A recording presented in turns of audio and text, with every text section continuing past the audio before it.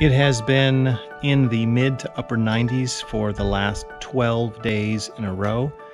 Today is the first day we've had a break in the weather. It's in the lower 60s, and that is a good chance for us to start installing our permanent solar up on the roof of the garage. So that's what we're going to do today. We're going to get after making rails and hoisting panels up on top of the garage.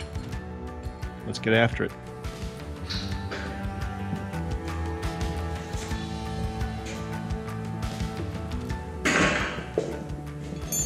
An immediate challenge we are running into is how we get these panels, which are not real heavy, but big and awkward to move uh, when they're bigger than you, uh, and how we move them up onto uh, a roof that's 20 feet in the air with two uh, not very tall individuals so we set up a multiple stage uh, as our first uh, kind of a experiment. So we got a platform on the tractor. We'll lift them onto scaffolding that we've erected. We'll pivot them on the edge of the roof that Jody's covering up with moving blanket right now. And then we'll pivot them again onto the roof of the garage and uh, try to get them in place and mount them. We'll let you know how it goes.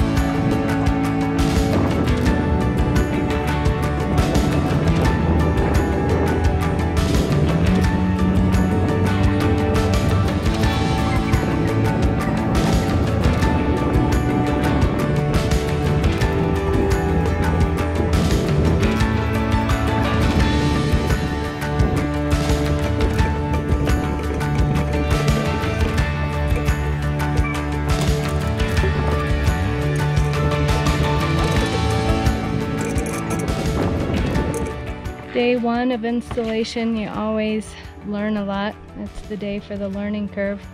And you never get as much done as you want to. But today we've got our first set of rails up and uh, two panels. So I feel like we've accomplished something and we've also figured out our process on how to do this. So the rest of it should go a lot smoother and a lot faster.